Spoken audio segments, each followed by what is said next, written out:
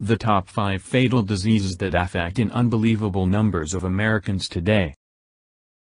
The fact is there are five diseases that are fatal to humans. The first one is heart attack, the second is cancer, then stroke, lung disease and last but moving up fast in the list is diabetes. The fatal five share two common elements, free radicals and inflammation.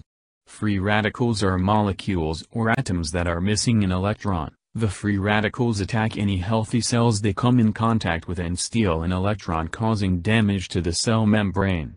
Inflammation is a process that is intended to help our body heal but in the case of disease, free radicals cause deformities or mutations in the cells. The inflammation cannot repair the damage, so it actually begins to feed the now deformed or mutated cells. Let us take a closer look at all five of these fatal diseases. Clots in the arteries cause 80% of all heart attacks and 83% of all strokes. The most common cause is a condition called atherosclerosis or hardening of the arteries. This is where a buildup of plaque which has a hard surface inside your artery has cracked and the platelets that are designed to clot in order to protect us from bleeding to death, end up clotting over the crack and cause a complete blockage of blood flow. In the case of heart attack, the blockage is near the heart and in the case of stroke the blockage cuts off the supply of blood to the brain. When it comes to heart disease, the free radicals attack cholesterol cells in the blood supply deforming them which in turn makes them sticky. Now you have bad LDL which collects and sticks to the artery walls. Inflammation does not play a major role in heart attacks and stroke but scientists are calling chronic inflammation a silent killer in a vast majority of diseases and illnesses. An estimated 570,280 people died, due to cancer in the year 2005. It seems that the overall death rate is on the decline for some types of cancers, but there are others on the rise, such as esophageal, liver and thyroid cancers. All cancers are caused by free radicals damaging our DNA. DNA holds the blueprint for each cell that it creates. This blueprint is who you are. When the free radicals attack the DNA the blueprint becomes mutated and when the new cell is produced with this new blueprint you have a cancer cell. More than 35 million Americans have chronic lung diseases. Every year over 349,000 people die from lung disease, a death rate of 121.4 per 100,000. You do not have cancer until the inflammation process begins. Inflammation is the body's defense against illness or injury. Inflammation tries to destroy the cells that it does not recognize as being you. The inflammation loses this fight, yet our bodies keep sending more, causing chronic inflammation. At this point the cancer cells start to feed on the inflammation cells and cancer growth begins. The lungs are far more complex than other organs in the body. The lungs have various minor roles to play and three major ones. They are defenders of intruders, they remove waste and toxins from the blood, and their main purpose is to supply oxygen to the blood. There are more than three dozen different types of cells inside the lungs and they all have very specific tasks to accomplish. Our lungs are constantly battling with the outside world with each breath we take. If the lung function is impaired in any way, you may have a potentially fatal lung disease. Lung diseases such as asthma, bronchopulmonary dysplasia, BPD, chronic obstructive pulmonary disease, COPD, cystic fibrosis, CF, pneumonia, sarcoidosis, and many more can be fatal. In the case of lung diseases, free radicals are coming in from the outside world in all forms of pollution. This creates inflammation which causes the obstruction of airflow. Millions of Americans have type 2 diabetes, millions more have it and are not yet aware of it. Diabetes is the inability to use the sugar called glucose. Glucose is created when the body breaks down food for energy. The hormone insulin opens up the body cells to allow glucose to enter into the cell and be used as fuel. In diabetes the cell never opens up and the glucose flows through the bloodstream causing high blood sugar levels.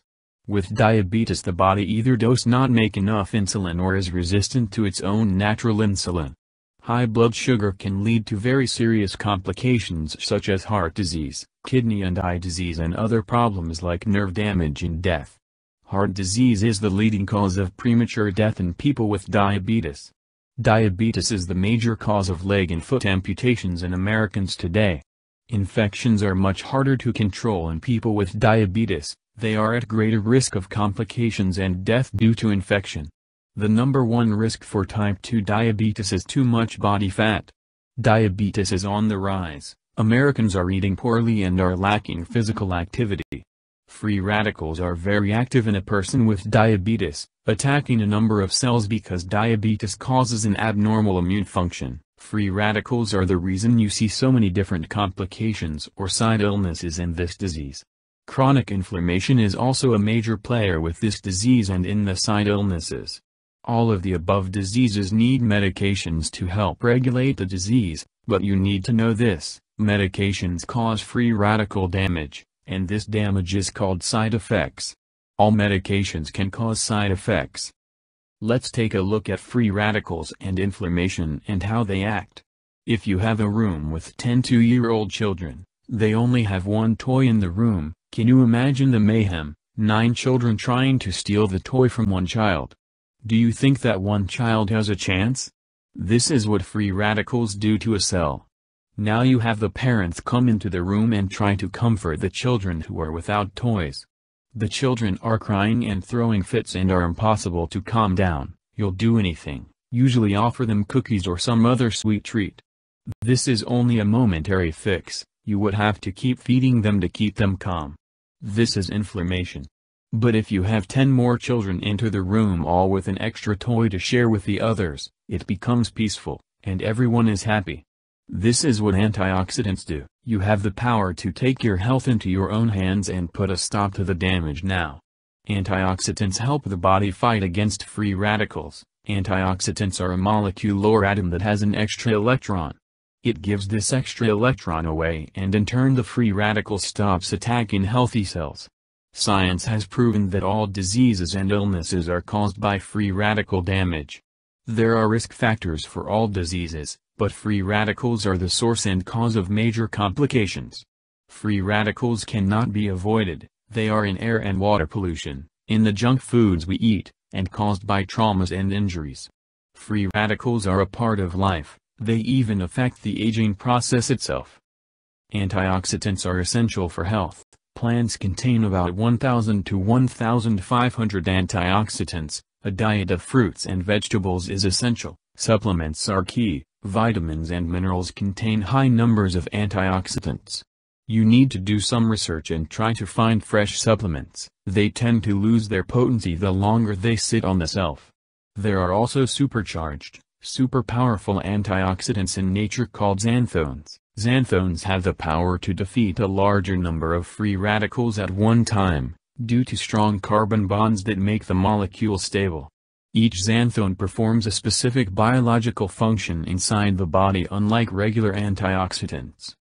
Universities and scientists have been studying xanthones for years, 200 have been identified in nature to date. The aloe vera plant contains one xanthone. The mangosteen fruit contains 41 xanthones. The mangosteen fruit also contains 25,000 antioxidants. How can that help your health? The mangosteen fruit has the highest number of antioxidants and xanthones ever found in one source it also has been studied and papers published on PubMed.gov. You can type in mangosteen and read the study findings. It is sad that most people save for retirement their entire adult life without realizing that possible future medical expenses can destroy any plans that they may have. By understanding your health requirements and the part that nutrition plays in that, you can greatly improve your quality of life into your retirement years.